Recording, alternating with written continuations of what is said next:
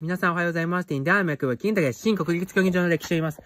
メインだったら1960年第1回の東京オリンピック、建て替えの新国立劇場でございます。熊健吾さんが作成したものでございます。緑の一体化ですね。明治神宮の玉園と、はい。いろいろ変わりましたね。はい。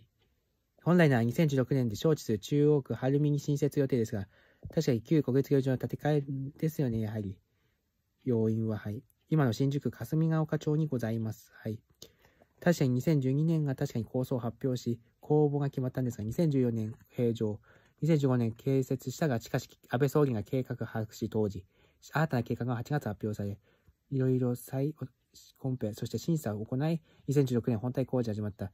2019年竣工し、2019年12月にオープニングイベント、そして東京オリンピックは新型コロナウイルスを乗り越えて開催。そして現在サッカー、J リーグ、国立競技場を使っています。町田ゼルビアも所有権奪うのでしょうか？はい。というわけで、新国立競技場の歴史でした。バイバイ。